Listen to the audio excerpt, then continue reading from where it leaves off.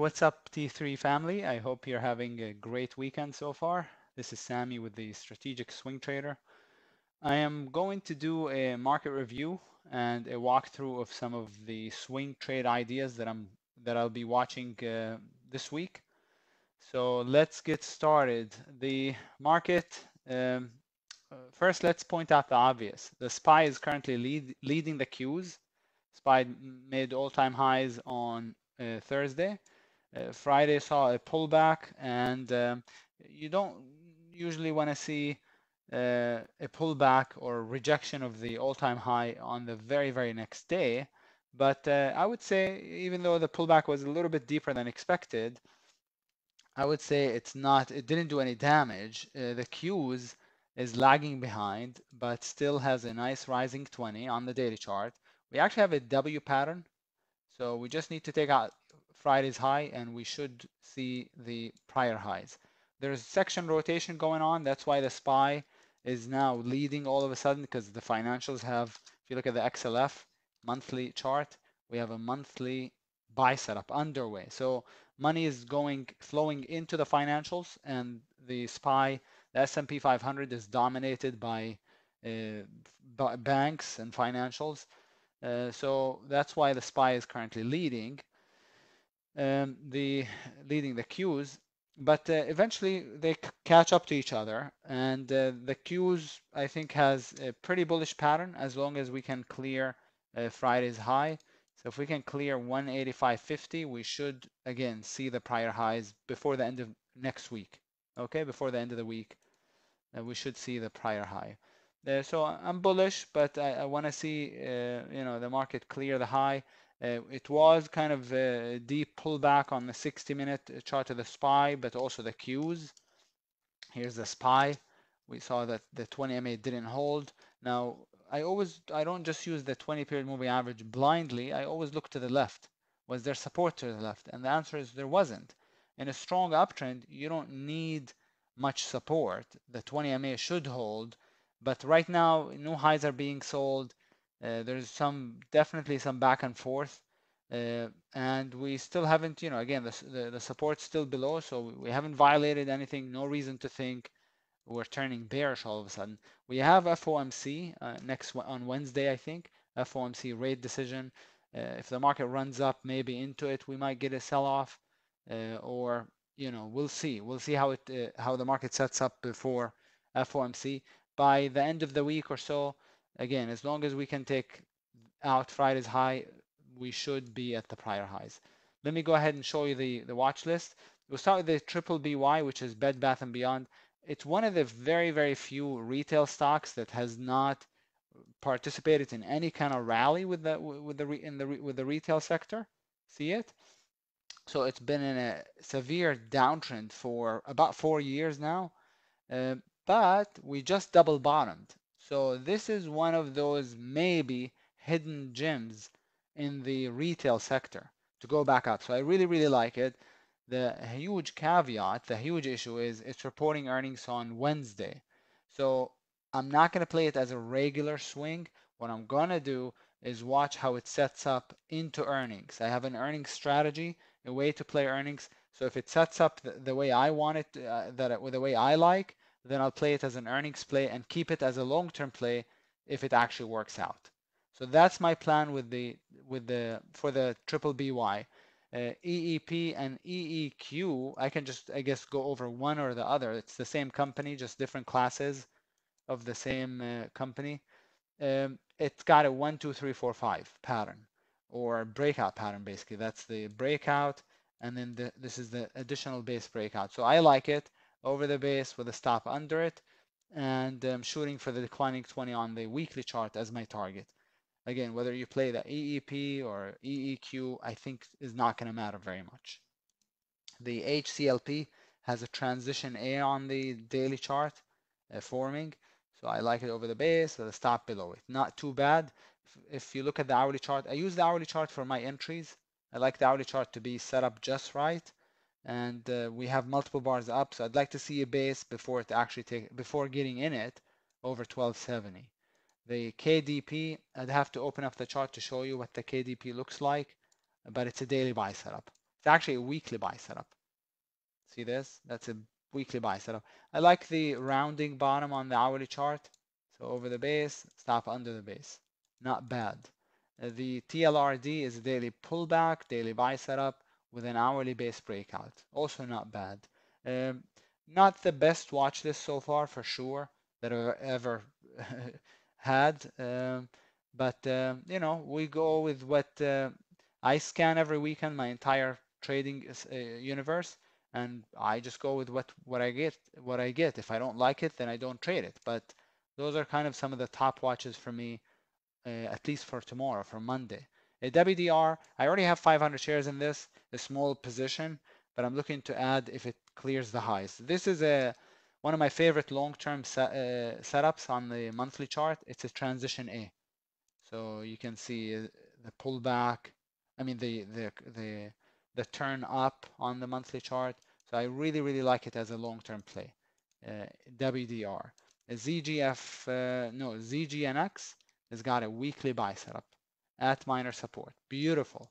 So I just want I just want to see it break out above the base. Okay. Um, those are some of the bullish watches. I have some other ones, but uh, I prefer not to go over them all. Um, the FEYE triggered actually on uh, Friday is another transition A on the monthly chart, just like the WDR. So I like the FEYE, but I'm already in it. HOS, it's thin though. So HOS is very, very thin. Uh, this is also another transition A on the monthly. Let me show you some of the bearish watches. I have ACGL. It doesn't look great on the on the daily, but if you look at the hourly, we have a base breakdown happening and then a stop above the base. If we look at the monthly, possible lower high uh, on the monthly chart. Let me show you the monthly, and there it is. So we've we've been in a very very strong uptrend for many many years, and we had a very bearish deep pullback, and now this is a, setting up as a potential lower high. I'm not saying it's gonna put in a lower high and crash, but it could put in a lower high and retest the prior lows or somewhere here. That's five bucks. So that's not too bad. Uh, AMED is a climactic monthly, weekly, right? Here's the weekly, and here's the daily. Daily's got a transition C setup. So when we have a stock that is, you, you remember the four cycle, the four stage cycle that I talk about talk about all the time. So this is the uptrend or stage two, and then and this is stage three, the top, and that potentially is stage the transition C, which takes you to into a stage four downtrend. Uh, I did the, I just did the MED, is exact the exact same play. Uh, the transition I caught on the hourly chart. This was actually on the. Uh, I discussed this in last week's video. If you paid attention, this was a pretty nice trade. I mean, from I, I got it at 240, 46 or so. Actually, I have I took a couple of pictures of my P&L, so let me let me tell you what. Okay, so uh, Med, I got it at 246.96, so 247 basically. So 247 is right here, and you can see the transition C on the hourly chart. So the uptrend, the transition, the breakdown, and then the sell-off. Why did I do it? Well, because of the monthly climactic run-up. Doesn't really get much more climactic than this. See it? Up, up, up, up, up, and the biggest bar, biggest volume. And I got a beautiful entry on the hourly chart. I usually prefer to play to find my entry on the daily and finesse it on the hourly. But in this case, the daily had a, an interesting entry, and the hourly really is what gave me the base, which I was able to short under it, and then the stop above it. I didn't need to use the daily high, which would have put my stop way up there.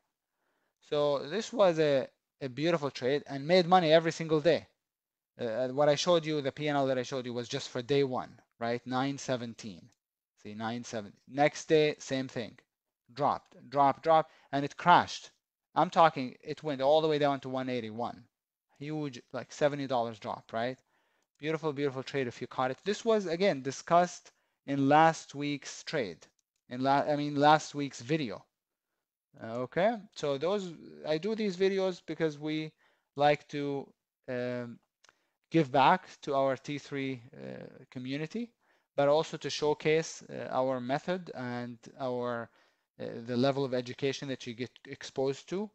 Uh, in this case, in the strategic swing trader uh, program, hoping that you like what you see and end up joining. So that's why we do the videos. Uh, I don't necessarily love broadcasting all my ideas to the whole world, especially if they're thin, but um, again, we do it uh, as a thank you, but also to showcase our methodology. Uh, BW, I was in the BW, uh, played it as a breakdown. Uh, it worked for a few days. I mean, I did cover half at 105, and in the back half, I trailed here. But uh, it's setting up again short as a, another breakdown. So here's the base breakdown. Here's the other base breakdown. It's going to be a penny stock at $1. So the short would be under $1, stop 113, I believe. Well, no, that's 124 could use 115, I guess. But it, it is becoming a penny stock. Uh, JKHY is climactic uh, monthly. So it's the same idea as the med. Now the med obviously looked much, much better, but it's the same idea.